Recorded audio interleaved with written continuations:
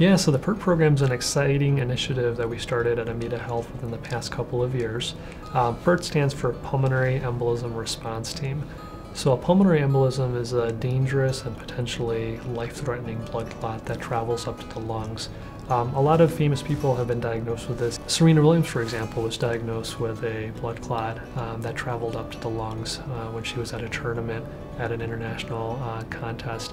And um, even Chris Bosh, an NBA basketball player. So these things are uh, not only common, about a million people are diagnosed with some form of a venous blood clot throughout the US per year.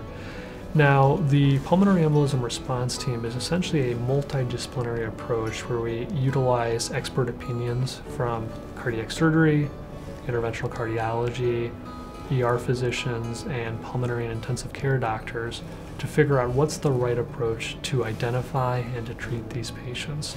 Most patients who come in with a pulmonary blood clot can be treated effectively with a medication that they take in a pill version. They typically get better within a few days. And the key there is to make sure that we identify what caused it and it doesn't happen again. What the PERT team also does is it identifies the higher risk patients, the patients who come in with a significant blood clot that's impacting their ability to circulate blood, to maintain a blood pressure, to breathe well, and to maintain oxygen saturations. Those are patients, again, where the typical treatments that we had used previously in the last 10 to 30 years uh, may not be aggressive enough to effectively um, help them out. So, for example, there's treatment options that we have to infuse a clot dissolver directly into the blood clot in the legs through a minimally invasive procedure that can often um, dissolve the clot to a quicker extent and often allows the patient to feel better much sooner than they otherwise would. It may also prevent some long-term sequelae. So a lot of patients with pulmonary embolism uh, can have long-term shortness of breath and things like of that nature. And so these more aggressive treatment options in the right population may help to potentially ameliorate those long-term side effects. We also identify patients who are in a life-threatening situation with the pulmonary embolism who need even more advanced therapies. So this would be an example for a patient who came in and despite the initial treatment with a clot dissolver, uh, continue to remain sick. And this is where our surgical input is very helpful. Having a surgeon who could retrieve the clot surgically through a process called an embolectomy, um, having support devices. So we have something called ECMO here, Alexian Brothers and AMITA Health, which essentially is a hemodynamic support that basically offloads the stress on the heart and the lungs for the body and allows it to kind of recoup in the coming days um, through uh, the support of the ECMO um, um, machine.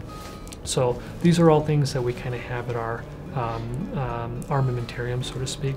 But the most important thing with the PERT program, I think, is identifying the patients who are at higher risk of long-term and short-term side effects, and then being able to effectively treat them. So I was actually um, at Mass General for my training for interventional cardiology and vascular medicine, and they pioneered the PERT program earlier this decade. And really, it's taking off. There's hundreds of sites now throughout uh, the U.S. that are really um, understanding that a multidisciplinary approach and shared decision making with patients really helps to improve quality and outcomes. And I believe with the PERT program, we're actually the first um, in the Northwest community uh, to have this pulmonary embolism response team uh, that can really help to better coordinate care and ultimately um, help patients with their long-term uh, prognosis. What was exciting about the PERT team was that this truly was a hospital initiative. This, the main focus here was for the safety of patients to better identify significant PEs and to better uh, improve their short and long-term prognosis. Um, and this again was something that was pioneered relatively recently within the past decade.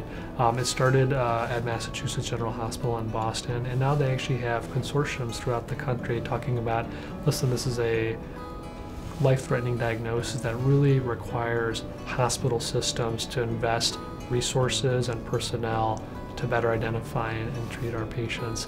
And so, um, for example, within the Alexian network in AMITA, we started the pulmonary embolism response team within the past year, and we've had almost 100 patients that we've been able to treat. And I think luckily their, their long-term outcomes are going to hopefully have been improved by the hospital and, and our personnel really taking the initiative um, and moving it forward.